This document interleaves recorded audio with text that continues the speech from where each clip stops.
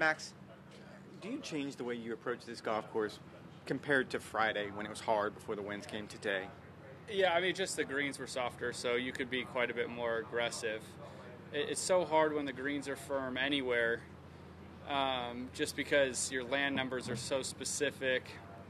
But out here, you know, as as hard as this golf course is, there are little tiny bowls, and when the ball is just kind of landing and, and releasing like two paces or one pace, you can be a bit more aggressive. I'm a good iron player, so when I'm in the fairway, I feel like there's a lot of shots I can go at. But I mean, little things like 15 today was way off the left, and I started way left and just let it cut in.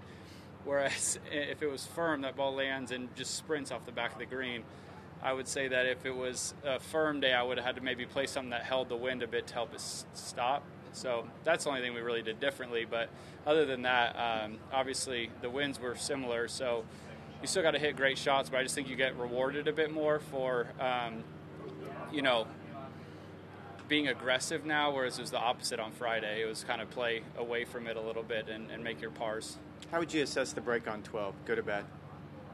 Oh, fine. I mean, it was cool as hell. I've never hit a pin from 307, so that was sweet. Um, I mean, it would have been nice if it went in, but I mean, I, I didn't really look at it as that a bad break. What was your feeling what happened in 17? Yeah, I don't know if the wind switch. It's such a weird hole in that it is kind of a guess. All the stands, you can't really feel the wind. We had played the last hole slightly down out of the right, so we were playing that one slightly in out of the left. And I thought I hit the shot. I mean, it's possible adrenaline got me. I flighted it really well. I hit a really good shot, you know, maybe a couple paces left to where I was looking. Never thought that was going to go over the green. Um, but that's kind of the hole. It just felt like even when we got to the, by the time we got to the drop zone, it felt like we were going straight downwind all of a sudden. So I don't know. That that that is frustrating because I thought I executed, but that is 17 at uh, the Players Championship, I guess. When you are when you're chasing with those final three holes coming up, do they allow you to be aggressive, or is that not a great strategy? Even though you know that you got to make up some ground. Yeah, I just think it all depends on your tee ball. 18, um, again, with it being soft, if you are in the fairway, I feel like you could be aggressive.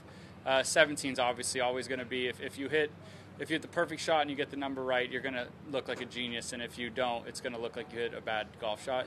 And then 16, yeah, I mean, if you hit the fairway, it just depends on your number. I was trying to be aggressive on 16. I just pulled it a little. Was, the ball was above my feet a bit, so it was a little tricky with the wind off the right. But I think you just always kind of play like that. You just kind of decide after your tee ball if you're, you know, what, what you can do, and then you, you work your way back from there. Thank you. It looks like Scottie's doing pretty well today. Who knows what the outcome will be? But he's chipped in yesterday, chipped in today. Could you kind of tell us at all what makes Scottie's short game so good? Um, it, it, it look. I mean, this is just by eye, but it looks just kind of homegrown, which I always feel like works pretty well. Um, you know, Jordan's kind of similar. Obviously, they have great mechanics, but it feels like they do it a different way, which means they typically own it a bit more. So I feel like he just knows what he's going to do. He has this stabbing spinner. Uh, he's got the really good kind of soft one out of the rough. I feel like he's just very artistic in that way. So that would be kind of. I feel like he sees them going to the hole. I played a lot more with Jordan, and you can just kind of see him painting that picture of making them, and uh, they make a lot of them. So that that would be my guess. But he's obviously just really good at pretty much every aspect of golf. Thank you all. Thanks Take a care. lot.